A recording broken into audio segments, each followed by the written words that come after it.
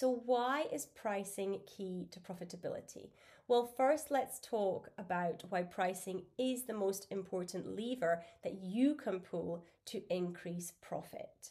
Often, business owners are focusing solely on increasing the sales volume or perhaps looking at cutting costs.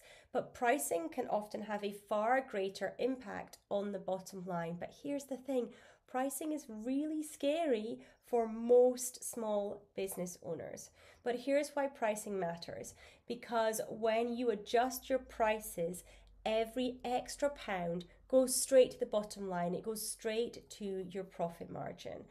So you're not increasing overheads or operational costs, you are simply capturing more value from the sales you are already making because many small business owners underprice their services because they fear losing customers.